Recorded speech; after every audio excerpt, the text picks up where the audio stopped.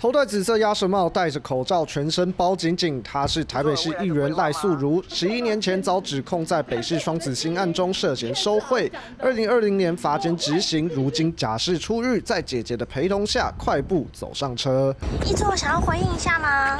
会不会觉得很冤枉？谢谢。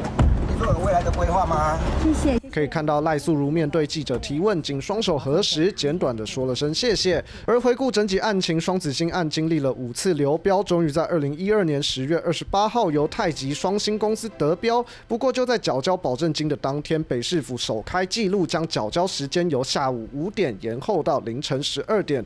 隔天又被证实收到汇款单，竟是空头支票。经过检调的抽丝剥茧，发现赖素如向厂商索取了一千五百万。元，虽然事后仅收回一百万元就遭到逮捕，最终在二零二零年以七年六个月有期徒刑全案定验。经历了四年的刑期，赖素如终于踏出监所，而目前他人正在前往士林地检署报道的路上。